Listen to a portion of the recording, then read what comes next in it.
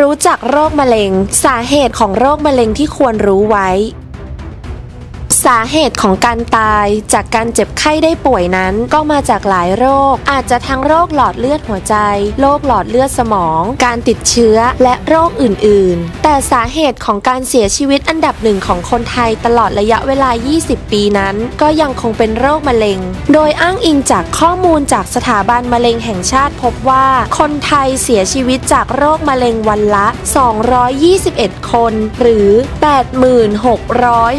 8665คนต่อปี โดยโรคมะเร็งที่พบบ่อยในเพศชาย อันดับหนึ่งคือ มะเร็งตับและท่อน้ำดี ส่วนมะเร็งที่พบบ่อยในเพศหญิง อันดับหนึ่งคือ มะเร็งเต้านม การเกิดมะเร็งนั้นเกิดได้จากหลายปัจจัย ซึ่งแต่ละปัจจัยเสี่ยงต่างๆ จะนำไปสู่การเกิดโรคมะเร็งในอวัยวะที่แตกต่างกัน เช่น 1. ปัจจัยทางพันธุกรรมได้แก่ มะเร็งเต้านมและรังไข่ ที่ถ้าหากมีประวัติว่าคนในครอบครัวเป็น เราก็จะมีความเสี่ยงในการเป็นมะเร็งมากกว่าคนอื่น ที่ไม่มีประวัติครอบครัว หรือความผิดปกติของยีนกลุ่ม BRCA1 อาจเพิ่มโอกาสของการเกิดมะเร็งปากมดลูก มะเร็งมดลูก มะเร็งตับอ่อน และมะเร็งลำไส้ใหญ่ ในขณะที่หากมีความผิดปกติของกลุ่ม BRCA2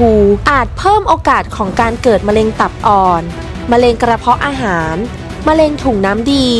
มะเร็งท่อน้ำดี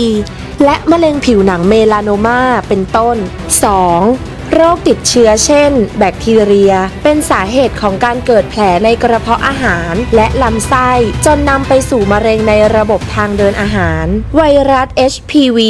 ก่อให้เกิดโรคหูดงอนไก่ ก่อนจะลุกลามไปเป็นมะเร็งปากมดลูก และมะเร็งทวารหนัก ไวรัส HBV ก่อให้เกิดโรคตับอักเสบชนิด B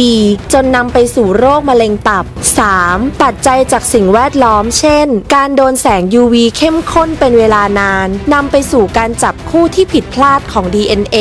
ที่ส่งผลให้ DNA ขาด และนำไปสู่การกลายพันธุ์ของเซลล์ ซึ่งเป็นสาเหตุโดยตรงของโรคมะเร็งผิวหนัง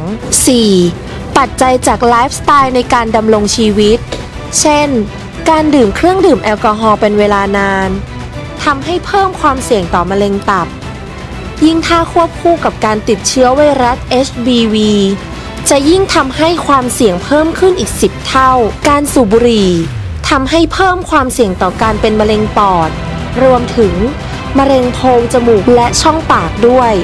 5. เกิดจากยีนที่ผิดปกติของร่างกาย